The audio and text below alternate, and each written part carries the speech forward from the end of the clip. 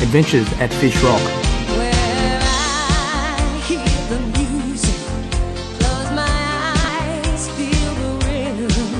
We often see bronze whaler sharks, also known as copper sharks, around Fish Rock.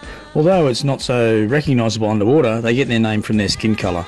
They sometimes hunt in packs, even with different species of sharks. However, they usually remain solitary.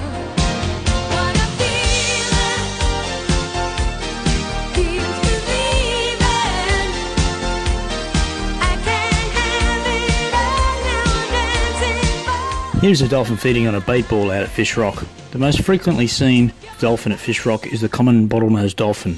We sometimes see the common dolphin as well, but that's usually only on the way to or from Fish Rock.